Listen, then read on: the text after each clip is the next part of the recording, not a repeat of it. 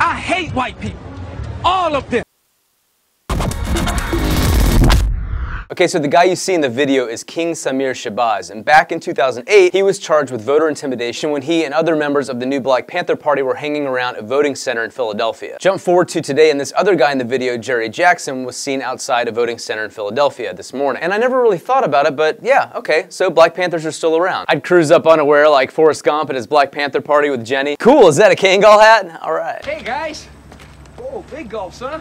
All right. Today, Jackson provided no comment, and I really don't have one either. You're gonna have to kill some crackers. You're gonna have to kill some of their babies. Okay, maybe except for one. That is fucking obnoxious. But so is this. According to a Fox News website, a group of retired Navy SEALs, Rangers, Delta Force, and Green Berets volunteered to attend the same voting centers as the Black Panthers, not to start anything, just to observe and document any bad behavior. I usually like to include comments made on YouTube about stories or whatever, but uh, I, I can't this time because the uh, comments are too, uh, too, um... Sorry I had a fight in the middle of your Black Panther party.